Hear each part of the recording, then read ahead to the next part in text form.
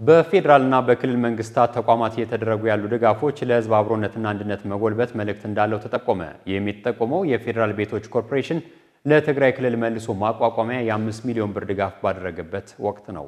ኢየሩሳሌም ሀረገወይን የፌዴራል ቤቶች ኮርፖሬሽን ዋና ስራ አስፈጻሚ አቶ ረሽድ ከማል ለትግራይ ክልል ጊዜያዊ አስተዳደር ዋና ስራ አስፈጻሚ ዶክተር ሙሉ ነጋ፣ ለትግራይ ክልል ብልጽግና ፓርቲ ከፍተኛ አመራር ዶክተር አብርሃም በላይና ለጊዜያዊ አስተዳደሩ አመራሮች አስረክበዋል።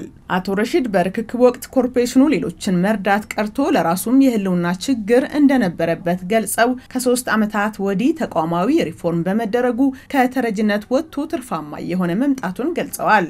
በዚህም ተቋማዊ ህልውናውን በማጠናከር ከራሱ ተልዕኮ ባሻገር ከሚያገኘው ትርፍ ሀብት በተለያዩ መስኮች ማህበራዊ ኃላፊነቱን እየተወጣ ይገኛል ብለዋል። ኮርፖሬሽኑ የህዝብ ሀብት በመሆኑ ባለፉት ሁለት ዓመታት ወዲህ 450 ሚሊዮን ብር ለማህበራዊ ኃላፊነት መዋሉን ተናግረዋል። መንግስት ትግራይን መልሶ ለማቋቋም ባደረገው ጥሪ መሰረትም ለትግራይ ህዝብ ያለውን አጋርነት ለማሳየት የ5 ሚሊዮን ብር ድጋፍ ለማድረግ መወሰኑን ገልጿል። በቀጣይም ኮርፖሬሽኑ በትግራይ ያለውን ሁኔታ እስኪሻሻል ድረስ አስፈላጊውን ድጋፍ እንደሚቀጥልም አረጋግጠዋል። ታላቁ የኢትዮጵያ ህዳሴ ግድብ ግንባታና ገበታ ለሀገር መሰል ፕሮጀክቶች ኢትዮጵያን በኢኮ ኢኮኖሚው መስክ ለመለወጥ ወሳኝ እንደሆኑ ገልጸው ፕሮጀክቶች ከግብ እንዲደርሱ ግለሰቦችና ድርጅቶች ድጋፍ እንዲያደርጉም ጠይቀዋል።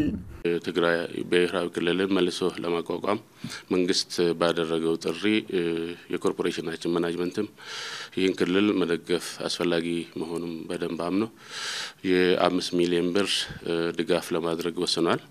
ይህ ድጋፍ ይህ ድጋፍ ብቻውን በቂ አይደለም። ክልሉ መሰረታዊ በሆነ መልኩ ችግሩ እስኪፈታ ድረስ በማንኛውም በኩል በቀጣይነትም ድጋፍ ለማድረግ የኮርፖሬሽናችን management ዝግጁ መሆናቸውን ላረጋግጥ እወዳለሁ። የትግራይ ክልል ጊዜያዊ አስተዳደር ዋና ስራ አስፈጻሚ ዶክተር ሙሉ ነጋ በበኩላቸው በክልሉ የተደረገውን ሕግ የማስከበር ተልዕኮ ተከትሎ በክልሉ ችግሮች መኖራቸውን ገልጸዋል። በአሁኑ ወቅት ክልሉን መልሶ ለመገንባት በሚደረገው ጥረት የቤቶች ኮርፖሬሽን ያደረገው ድጋፍ ለጊዜያዊ አስተዳደሩ ትልቅ አቅም ነው ሲሉም ገልጸዋል። ከዚህም ባሻገር የትግራይ ሕዝብ በችግር ጊዜ አለኝታ እንዳለው የሚያረጋግጥበት እንደሆነም ያስረዳሉ። በፌዴራልና በክልል መንግስታት ተቋማት እየተደረጉ ያሉ ድጋፎች ለህዝብ አብሮነትና አንድነት መጎልበት ትልቅ መልእክት እንዳለውም ተጠቁሟል። በአጠቃላይ እንደዚህ አይነት ድጋፎች ለእኛ ለጊዜያዊ አስተዳደሩ ትልቅ አቅም ነው። ለትግራይ ህዝብም የአለኝታ መገለጫ ነው። ይህ ማለት የትግራይ ህዝብ የደረሰው ችግር የወገን እንዳለው በጎን ቆሞ አይዞ የሚል በሙሉ በኢትዮጵያ እንዳሉት የሚያሳይ ነው።